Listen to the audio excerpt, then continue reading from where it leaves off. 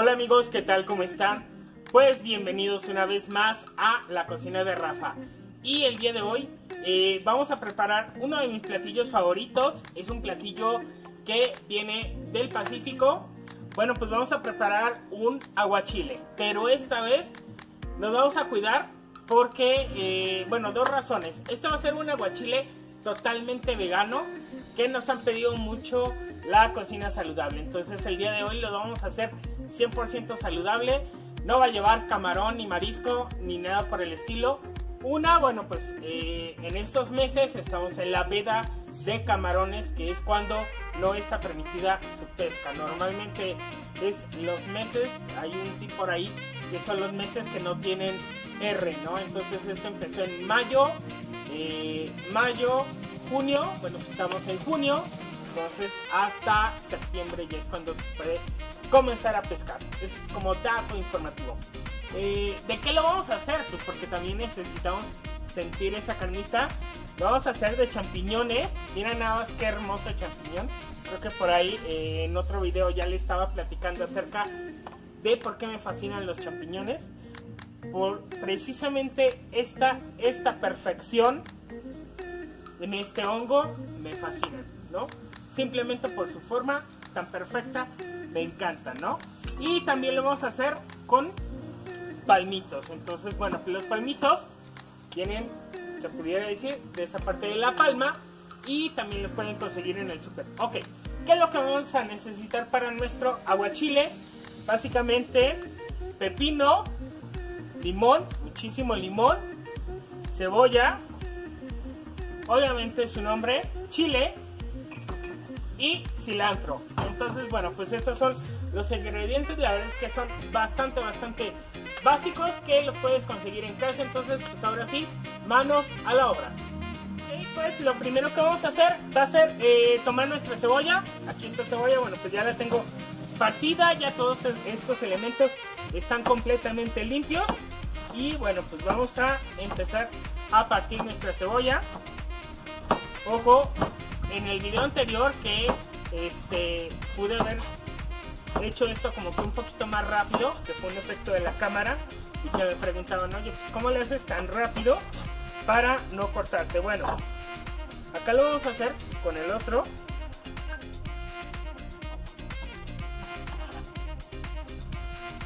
Y eso es algo bien básico, ¿no? Voy a quitar este por acá para que se pueda ver. Algo que siempre debes de tener en consideración cuando estés picando tus verduras. Uno, que tu dedo, este pulgar, siempre lo tengas escondido, ¿no? Y esto también te va a permitir, obviamente, que no se mueva este alimento. Otro, otro ojo, otro tip es tener un eh, trapo abajo mojado. Esto que te va a permitir que tu tabla no genere movimiento. Y tus dedos no obviamente no enterrando en el alimento porque eh, una pues por higiene y dos bueno pues también por seguridad. Si no tus dedos así y agarrando el cuchillo de esta manera. Si tú lo agarras de esta manera corres el riesgo de que se vaya. Entonces lo agarramos de esta manera y así.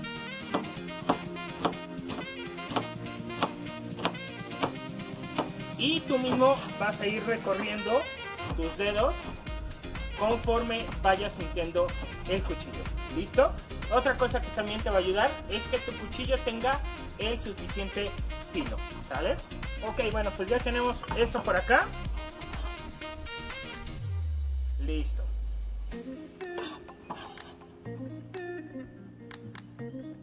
Bambi. Ahora, eh, pues vamos con el aguachile. Vamos con los limones.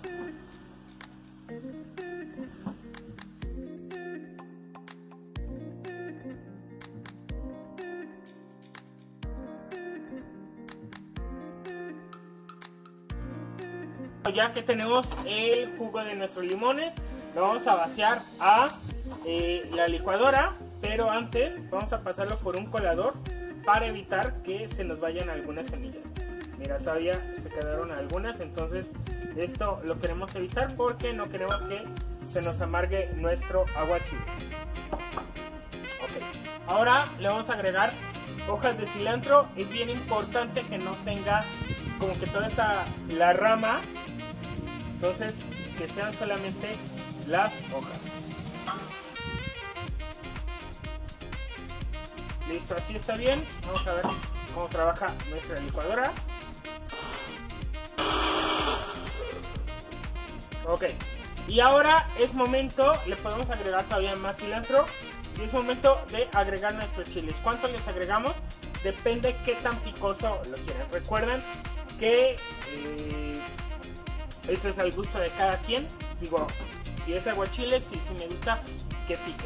¿no? Entonces agregamos los chiles y ahorita le agregamos un poco más de cilantro.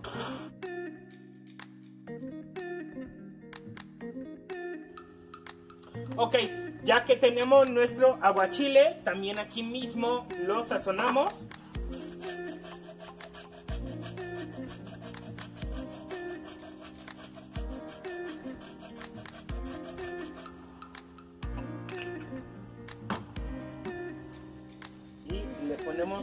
Sal y pimienta y solo le damos una pequeña mix y listo. Ya está.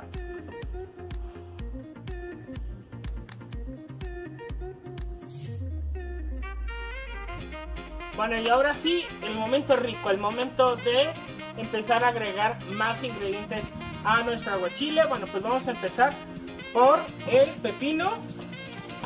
Hay un mito que dice que eh, tienes que juntar estas dos partes nuevamente después de cortadas. Digo, se me hace como medio un poquito raro. Este, para que nos amargue. Bueno, pues no, no queremos entrar en, en confusión ni en discusión. Entonces, lo que vamos a hacer, pues lo vamos a hacer. Entonces, bueno, pues ya. Esto lo vamos a pelar así, normalmente.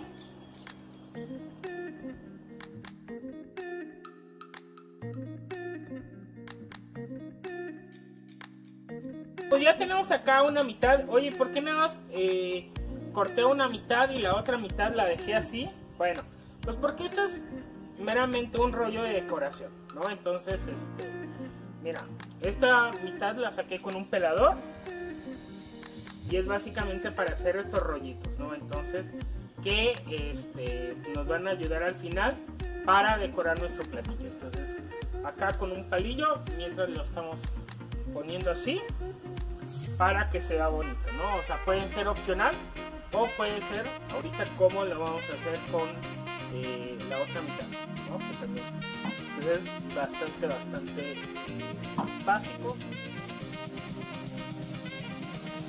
¿Y qué vamos a hacer con la otra mitad? La otra mitad vamos a retirar las semillas con una cucharita que se me hace como que eh, lo más fácil que se puede hacer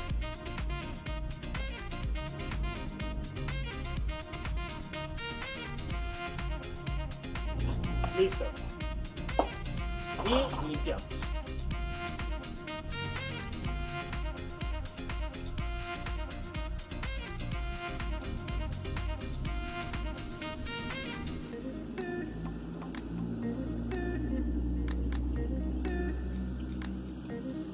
Incluso lo pueden dejar con cáscara o sin cáscara no pasa absolutamente nada ¿no? ok y ahora sí este procedemos a cortar esto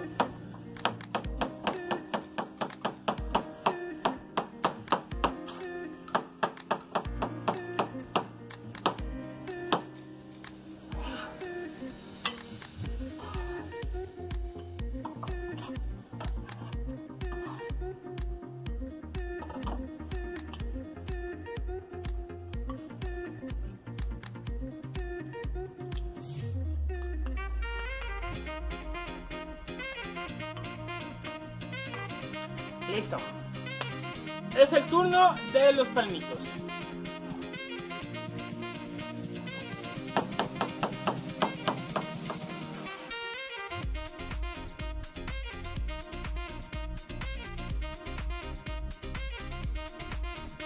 Bueno, pues ya casi está tomando forma nuestro aguachile vegano. Entonces, eh, último ingrediente,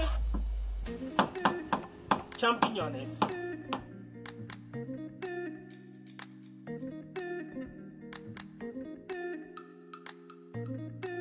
Ya casi está quedando nuestro aguachile vegano, ya prácticamente es dejarlo eh, reposar un tiempo, es decir, 15-20 minutos en el refri para que se puedan integrar bien los sabores y listo, ya está nuestro aguachile. Entonces, pues vamos a esperar 15 minutos para poder presentarlo y lo podamos disfrutar.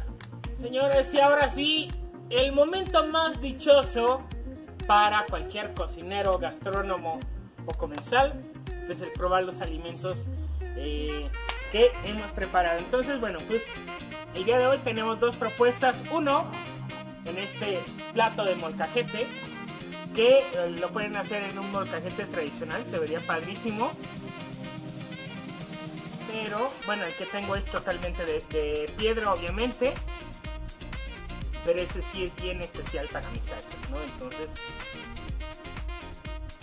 miren nada más qué bonito se ve. Es padrísimo. Y el otro, pues, es más contemporáneo. Y que es, es sobre una copa martinera. Entonces, bueno, pues cualquiera de las dos queda perfectamente bien, lo podemos ver.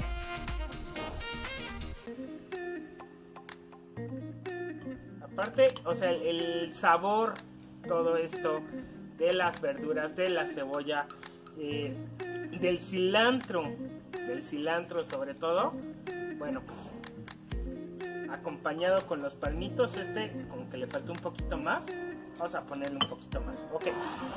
¿Y qué le vamos a poner de decoración? Ah, bueno, pues ahora sí. Vamos a ver si se desenrolla. Esto, esto yo creo que quedaría un poquito mejor aquí. Ándale, mira. Mira qué bonito quedó.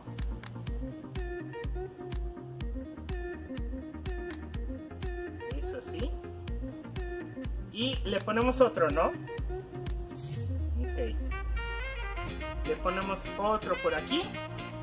Y bueno, pues no puede faltar el aguacatito. Eso que se vea bien aquí. Incluso, a ver si se alcanza a ver que este aguacate todavía tiene cáscara. ¿Por qué tiene cáscara? Bueno, pues porque es de una cáscara muy delgada, entonces eh, si se lo intentamos quitar, bueno, pues también se puede llegar a partir y no queremos. Entonces, bueno, pues también se lo vamos a poner acá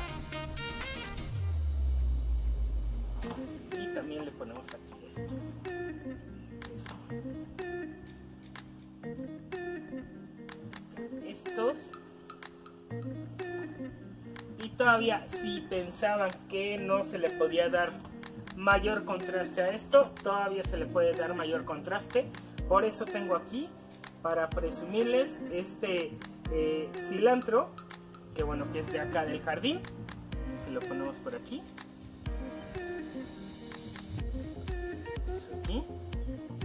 y ese se lo ponemos por aquí y le ponemos otro otro cilantro a veces es más fácil cortarlo con las manos pero bueno y todavía vamos a darle más toques y le ponemos un poquito de ajonjolí bueno pues esta es la propuesta de aguachile totalmente vegano. Espero que lo puedan probar en casa, que lo disfruten. Y bueno, pues no puede faltar obviamente probarlo, ¿no? A ver, a ver si sí es cierto, porque obviamente a la vista, a la vista, bueno, pues nos puede engañar, pero en el sabor, pues no. Entonces,